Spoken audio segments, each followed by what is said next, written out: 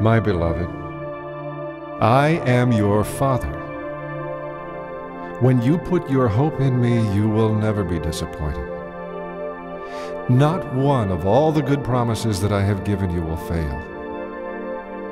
I am the maker of heaven and earth, the sea and everything in them.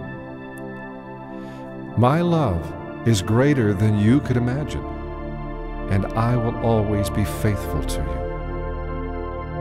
You should take note that I am not a man, not like your earthly father. I do not lie nor change my mind. Have I ever spoken anything that did not come to pass? Have I ever made a promise and not keep it? No, never. This is very important for you to grasp. I have confirmed my promises to you with an oath. I did this so that when you take hold of the hope that I have offered you, you will be greatly encouraged because it is impossible for me to lie. So take hope and hold it tightly.